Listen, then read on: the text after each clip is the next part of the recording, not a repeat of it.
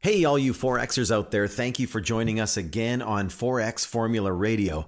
I'm Kelly Johnston, the founder of the 4X Formula, where we teach real estate agents to 4X their business utilizing the 4X Formula. We're in a nine part series right now talking about the nine critical aspects of a 4X agent. Now, there's a lot of 1x, 2x agents out there operating in real estate, and we focus on all four aspects of the real estate mastery in order to create 4xers who will eventually enjoy the dream real estate business. Go to 4xformula.com to learn more. Now, if you haven't already, I think it will be valuable for you to go back and listen to the last four episodes so that you're up to speed. Today, we're talking about number five a 4X agent is intentional. Hi, I'm Kelly Johnston, founder of the 4X Formula, and the big question is this How are real estate agents like us able to create a constant stream of commissions? and a constant stream of leads while enjoying life without wasting big budgets on branding, without working crazy hours, without worrying where the next deal's coming from in today's real estate market. This podcast is here to reveal the answers. Working with intention is the fifth key in becoming a productive 4X agent. We've gone over what it means to be a professional, what it means to be accountable, the importance of being organized, how to be a person that maximizes their time. Now, these are incredibly important things. It's interesting though, I was thinking about this. If you simply operate with the right intentional mindsets, strategies, and you operated your day on purpose, then I believe that a lot of other facets would be automatically taken care of. If you injected a clear intention into everything that you do, then how would you function? I think about this all the time. So when I'm designing the podcast that you listen to, I have to operate with intention. When I'm designing and writing the lessons that build on each other, it's completely intentional. In the course, there's a reason that we, we get into the details and we do the foundational exercises. This is vitally important so that we help you create something that builds on itself. The intention is that we help you create many successes along the way. And then the building blocks of the exercises work in concert with your journey. And then by the end of it, you solidify your business and create a business that feeds itself while also simultaneously transforming yourself along the way. You actually become worthy of the success that you're going to enjoy. The foundation is laid in and you build your business on top of it, but you're also at the same time laying in a foundation of becoming a person of enormous value. So that's my intention for this course. That's my goal. That's my intention. So here's my why. The ultimate intention that is more macro to the micro part of this project is, is that I believe we can inadvertently help to eliminate two major challenges in North America. One, I call it realtor poverty. The average income of the real estate agent is under $45,000 per year. Ick. Ugh. That's gross. Number two, lack of realtor respectability. Realtors are still in the nation's top 10 least trusted professionals. That, th- these two things in my mind are like an epidemic. So I want to create a bunch of 4X agents who are out there kicking butt, doing business the correct way with the right mindsets in place, employing the nine critical aspects into their lives and businesses. And I know if they do, we will begin to tackle those two items. At the very least, I hope there will be no 4X agents who fall into those categories of realtor poverty and lack of realtor respectability while making over a hundred grand a year and beyond while serving people well and becoming trusted advocates for the general public and literally transforming who a real estate agent is in the eyes of the public. Okay, so my intention is now stated. It's done. I can't take it back. That's my intention. You heard it. You're all witnesses to it now. So, how does that affect my daily activities, my monthly activities, my approach to recording a podcast to give value? Am I giving value? Are you getting value out of this? Please let me know by commenting and giving me a rating if you're listening on iTunes. Thanks, I totally appreciate it. But I'd like to know to get feedback because that's my goal. So it'd be great to know if I'm achieving a goal. And your feedback is the most important measuring stick that I could think of. Okay, so what about you? Here's a quote from Oprah Winfrey, who is one of the most successful ladies in the United States. She's absolutely amazing. And she understands this. And I think she's always, always kind of operated her life this way. Intention is one with cause and effect. Intention determines outcome. And if you're stuck and not moving forward, you have to check the thought and the action that created the circumstance. Intention is one with cause and effect. Intention determines outcome. And if you're stuck and not moving forward, you have to check the thought and the action that created the circumstance.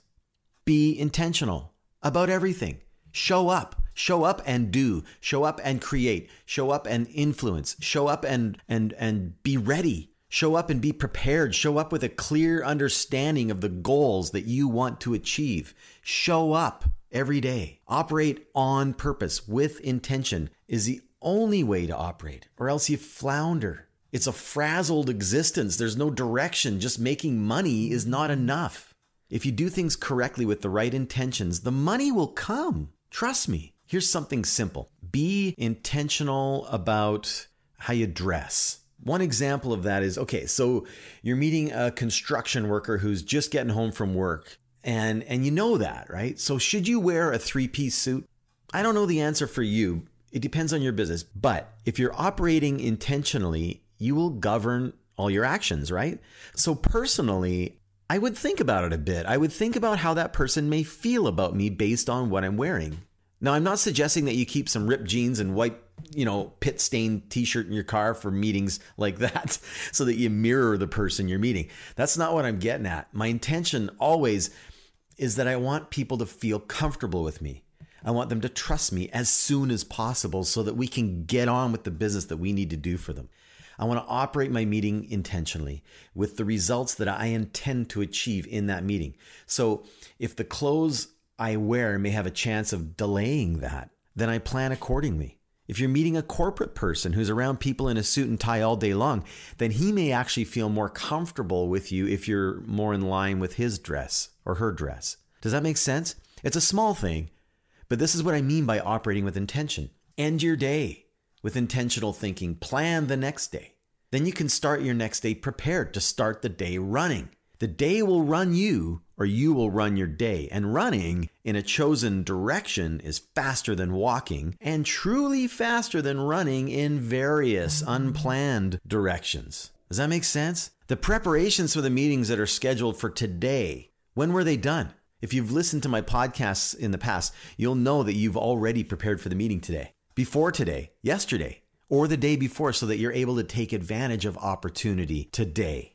Are you thinking about your why and the goals that you set for yourself every day? What governs your thoughts and actions? Your intentional thinking. Intention is one with cause and effect. I love that. Are you feeling stuck? Are you feeling like you're wandering and aimless? Have you ever felt that way? Like that's because you're operating in a vacuum. It's all internal, it's all self absorbed, it's inward, it has no purpose, there's no result other than sucking in. People know what they want, what they hope for, what they wish they could have, what would be nice. They do kind of know because they know what they want to move away from, from what sucks, right? But without a proper intention, then they're just sucking in what sucks more. It's suffocating. This is what causes people stress and confusion. I like I really believe that. They don't see a way out. They feel powerless. Operating with intention is like breaking down what you want in a macro way. Define that, then internalize that. That becomes the rudder that steers your decisions and actions. It's outward and action oriented. If you operate with intention, inaction starts to bother you. You're purpose driven. You have a goal to achieve. You know why you want to achieve. And now you're willing to submit and learn all the hows and whats and to dos that are required in order to get that to happen. You take the power back. See how awesome that is? Instead of a ship floating around in an ocean with no direction, no engine to turn it on, you have no goal set. You have no why you want to achieve those goals and, and what achieving those goals will mean to you. And you have emotionally internalized what it will mean for you. And now you're operating with intention. This ship has a clear direction. You've charted the course.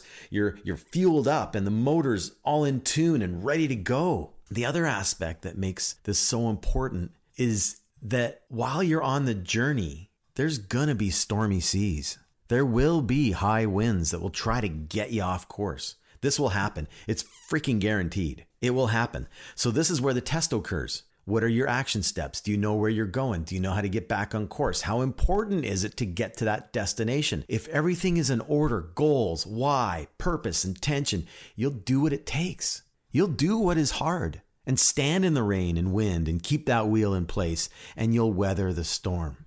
Here's another quote from Tony Robbins Every action has an impact. Choose wisely the impact you want to have.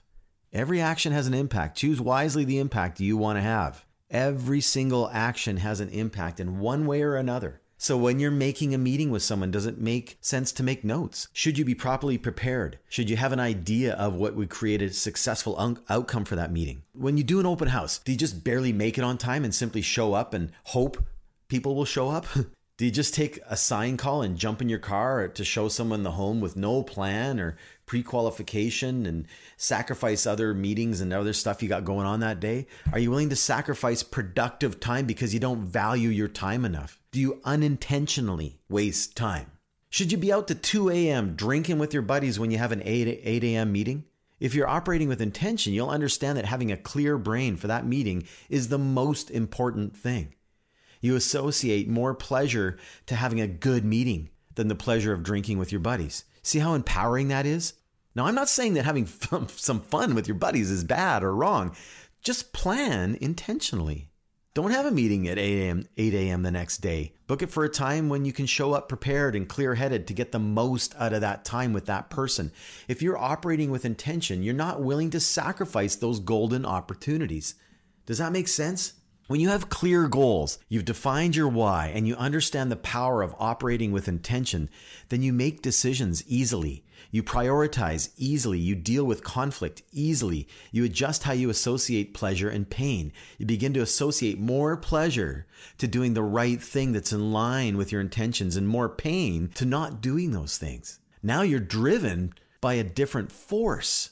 You don't need to be motivated. You don't need to be pumped up all the time. You don't need an injection of ego boost to keep yourself going. Some people are driven by ego alone. That can be very powerful. It can create a lot of success. I'm not putting these people down. It's an, an incredible motivator and very powerful, but it's not fulfilling. There's always an emptiness. There's this constant, gotta have more, gotta have more, gotta have more. So you make decisions incorrectly. I was that person. My goal was make a lot of money and then show everybody how successful I am. That was a powerful motivator for me. I needed to feel like I was better than everyone else.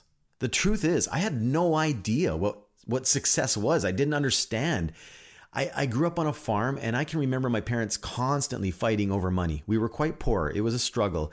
In the early 80s, my, the interest rates, they went to over like 21%. And my parents, they were in a depressed state. My mom had to take on a job and run the farm. My dad's back went out. So I was the oldest. So I had to help take care of things. And I heard the arguments. I felt the stress. I saw the challenges. And I could, like my parents, they felt powerless. I decided early on that I would never put my family in that position. So I created a strong motivation early on in my life. But then, once I was able to achieve what I believe to be success, I had no example of a measuring stick. I became totally ego dominated. I was controlled by my ego. I made decisions based on what fed my ego. And because I was doing it all wrong, I was constantly in stormy seas. I was constantly bailing water out of my ship. The ship's steering wheel went everywhere. I had no rudder to steer anyway. And the fuel, the why, the purpose, the proper defined intention was not in there. So I had no fuel for the motor. I was just being pushed around by the wind. My sails were up. I wanted to go somewhere. I wanted money.